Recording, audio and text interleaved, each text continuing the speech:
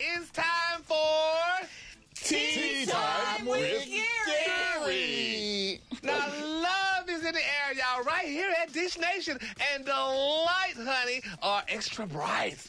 Yes, honey, the light is extra bright in here on Miss Porsha. Now, you have your big ass engagement ring on today, too. yes, and you're wearing that big ring again, honey. Is that the same one? Uh, yes, it is. Oh, well, honey, word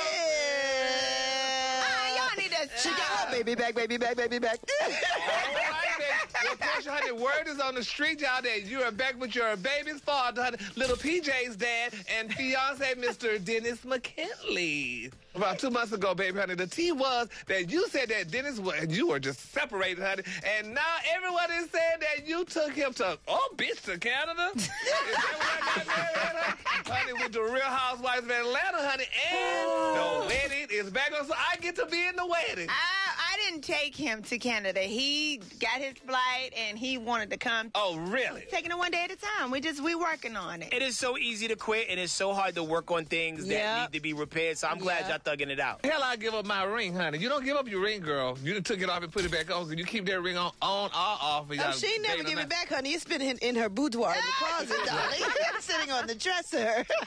PJ needs her dad, honey, and you need your man. So don't be like the rest of these miserable bitches, honey. Keep your husband. I never got the issue. What was the issue to begin with? We ain't Oh, going there. I don't know you better what look it up and figure it out. I don't, I, I don't stalk. we, we not doing that. I don't stalk your Instagram stories. I don't know what's going on. You got a question, just look it up. We're not talking about it today. Hey, Porsha, just say to him, asked and answered. Oh, Asked and is answered that- next. That's how you do it? Asked and answered Oh, next. Asked, asked and answered next.